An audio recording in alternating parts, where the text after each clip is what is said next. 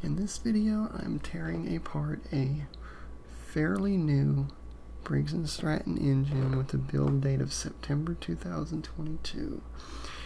And it threw a connecting rod, but it did not break the block.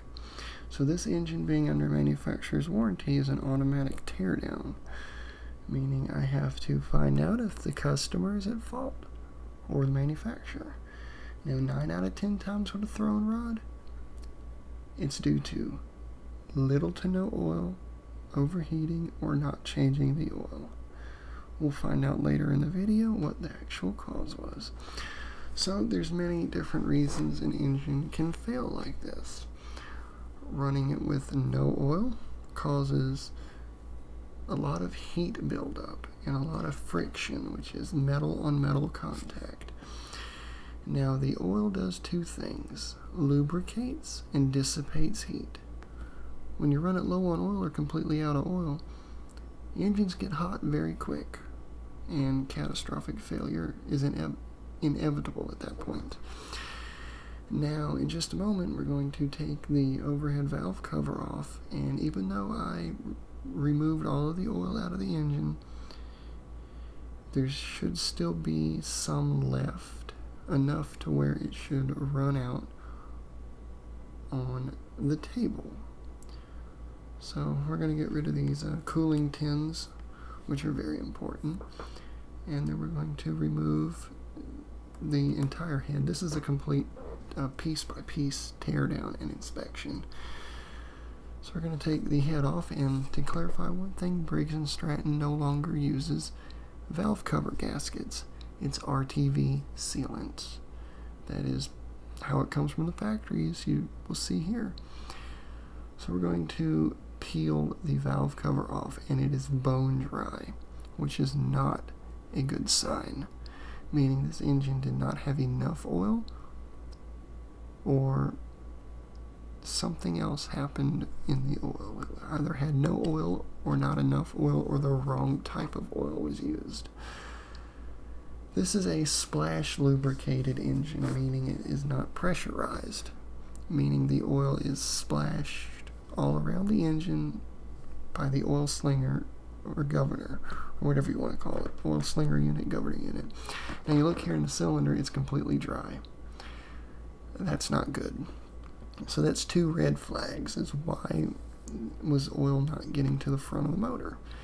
It's splash lubricated, could the governor have failed? Yes, but there still would have been trace amounts of oil and the parts wouldn't be bone dry. So that's already ruled out. So now we're going to take the oil pan, sump cover, whatever you want to call it, off of the engine. And this engine, like I said, build date is September 2022. It's June 2023 when I did this video. And uh, you have to excuse my creaky office chair. So nothing on this engine is rusted or discolored or anything.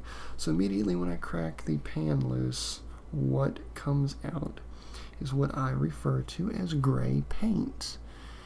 Burnt engine oil with metal in it. There's a camshaft blowed apart, and there's pieces of connecting rod, balancer, and cylinder wall in the engine. And if you look at that crank journal, there is metal transfer, which indicates lack of lubrication. This is not a warranty problem. This is a customer negligence problem.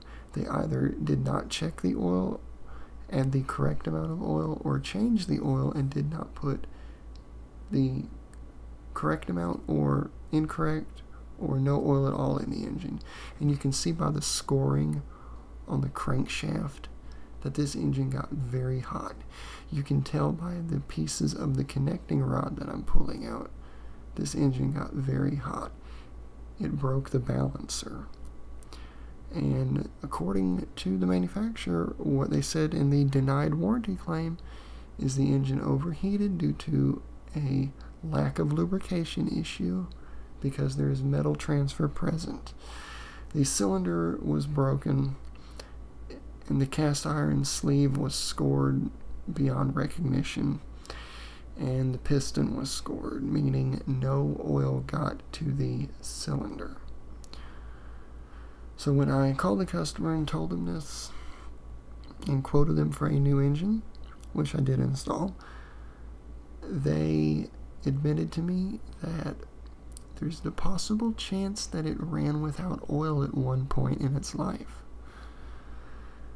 Always check the oil. Whether it's push mower, riding mower, even in your car, check the oil. As you see here, I'm trying to get the piston out, but the balancer and underneath is so mangled when the rod came apart that it had the balancer up at an angle, and I had to take a uh, 10 pound sledgehammer and beat the crankshaft out of the engine in order to pull the piston. Alright, so up next is the pictures that I took of the teardown. And as you can read on the screen, conclusion was no oil, or little no oil. Here's the cylinder where it got broken in one spot. There's pieces of connecting rod. And there's the piston, which is scored unbelievably. There's the other side of the piston with scoring present. That is the break in the connecting rod. This is the bent camshaft with scoring visible. This is the sump cover, which is a disaster. This is the crank journal, which should not look like that. This is the crankshaft bearing part, which goes through the oil pan scored up. Damaged cylinder and scored cylinder wall. Cast iron sleeve. Connecting rod pieces again. And more connecting rod pieces and the gray paint that came out of this engine.